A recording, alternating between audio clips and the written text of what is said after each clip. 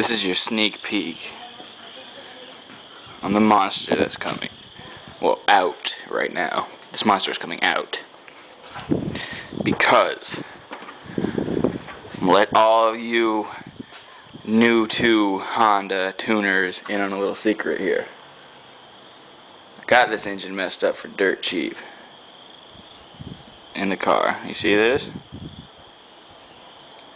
Can anybody identify this part? You win if you say oil pump or balance shaft housing. Goes right behind this plate, right there. That is a fucking killer to your tuning project. You see this?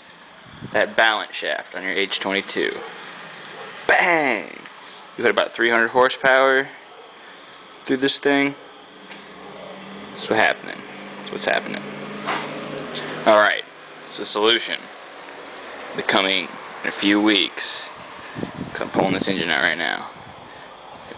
And I will show you a balance shaft eliminator kit put together by some fucking company in Arizona. They're making me ship my engine to because they won't let me install it myself, which is horseshit, but whatever if they're going to warranty it. And they're giving me a deal so, fuck them. Let them put it in. They're the only company I know that makes one that works. Doesn't fuck your oil pressure all the way up. Kaizen Speed would be a second grade quality one, which would be the next best one. But this company, I can't even remember the name off the top of my head. R&B. They're only specialists. They do them all the time.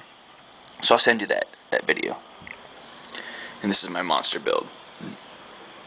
Get a nice fresh port and polish on this head. Got skunk. I don't even know if I want to put this in there. Skunk2. Stage 3 cams coming. I have to whisper that because I don't want to get in trouble for buying them. Alright, so there's the build and the broken part.